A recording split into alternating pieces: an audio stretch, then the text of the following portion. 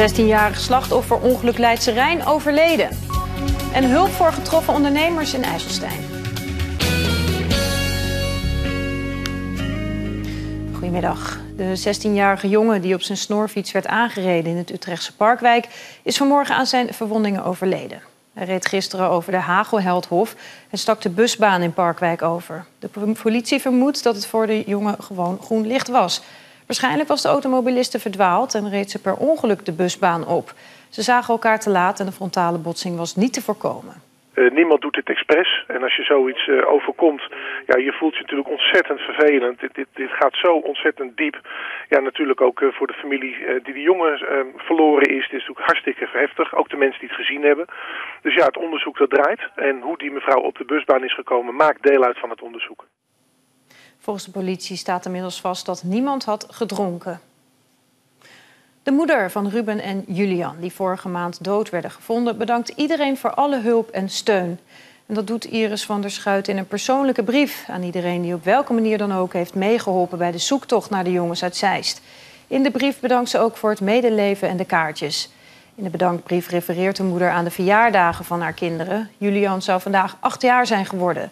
Ruben over twee weken tien. Menno Bous is een van de mensen die bij naam is genoemd omdat hij betrokken is geweest bij verschillende zoektochten. Hij vindt het zelf wel zeer bijzonder. Uh, we waren op de hoogte dat de brief zou komen, inderdaad. De inhoud uiteraard uh, niet. Ja, het is toch wel bijzonder als je daarin uh, genoemd wordt. dat je deel uitmaakt uit een, uit een heel groot gebeuren natuurlijk. De verdwijning van Ruben en Julian uit Zeist hield de gemoederen vorige maand erg bezig. Ze zijn omgebracht door hun vader, die vlak daarna zelfmoord pleegde. De brief is ook te lezen op onze site rtvutrecht.nl.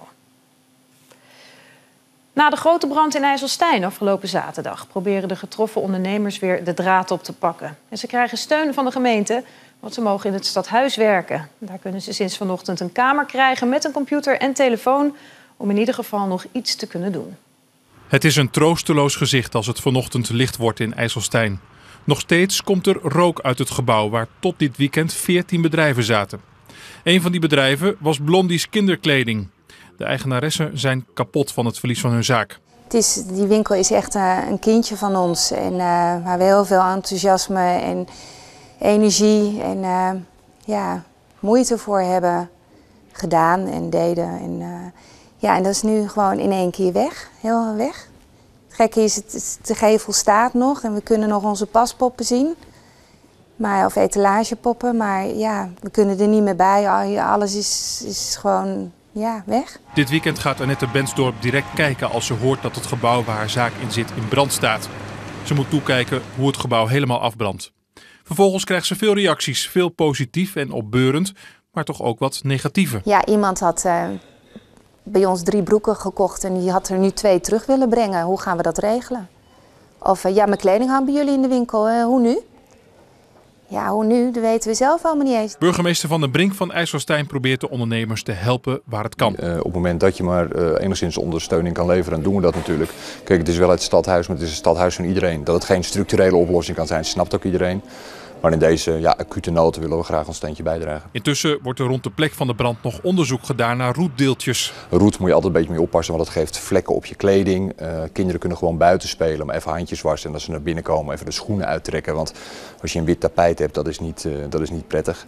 Als mensen vragen hebben over roetschade en dat soort zaken, verwijs ik ze graag naar hun eigen verzekeringsmaatschappij, hoe daarmee, uh, daarmee om te gaan. De gemeente weet inmiddels dat er verder geen gevaarlijke stoffen zijn vrijgekomen.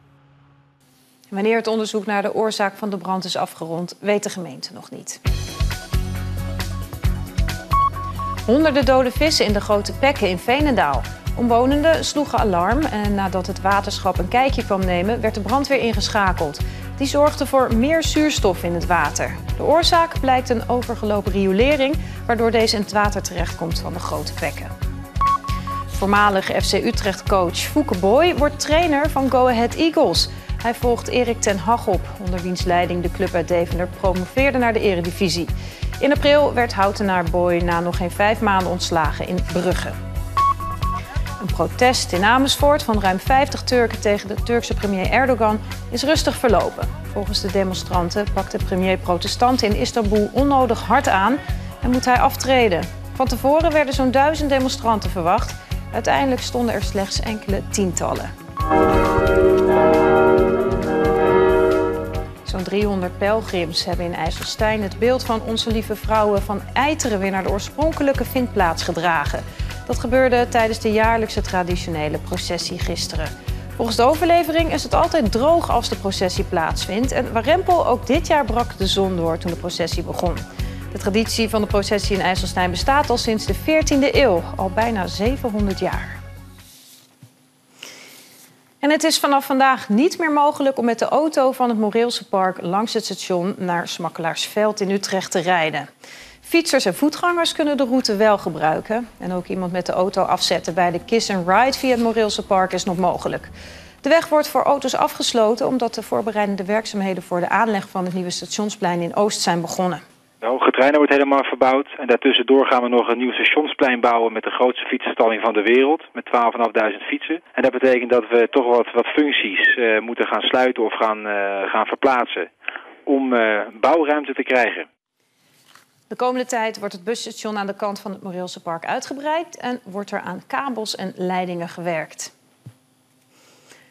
Nick en Simon, Jan Smit, Bluff en Direct. De Woerdense vakantieweek weet altijd grote Nederlandse artiesten te strikken. Maar nu krijgt het regionale evenement internationale allure. Het is de organisatie namelijk gelukt de Britse topact Fateless naar Woerden te halen.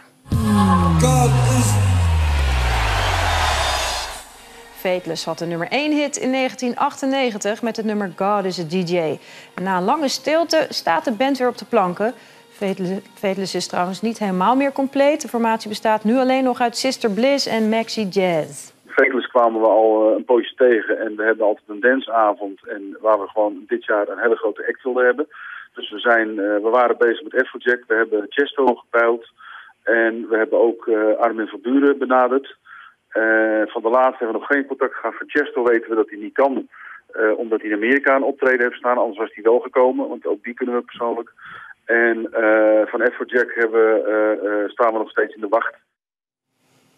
Ja, en wilt u ook naar die vakantieweek in Woerden? Dan is dat in de laatste week van augustus. Krijgt u tot slot nog het weer van mij. Het is wisselend bewolkt. Er valt af en toe een bui. In het westen van de regio is er vanmiddag de meeste zon. Meer landinwaarts zijn er de meeste buien. Het wordt niet warmer dan 16 graden.